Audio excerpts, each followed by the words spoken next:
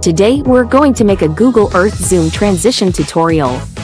Step 1. Record your screen in Google Earth. Open Google Earth. Now start recording screen. Search for your destination. This flight animation is what we want. Step 2. Add screen recording and videos on YouCut. Select the recorded flight animation and the clips you filmed. Trim video length.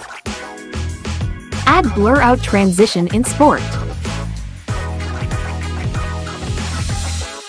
Move the pointer to the middle of the two videos. Select the cassette effect in retro and long press to add it.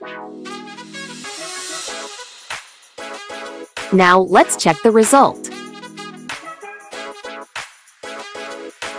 Try it on YouCut.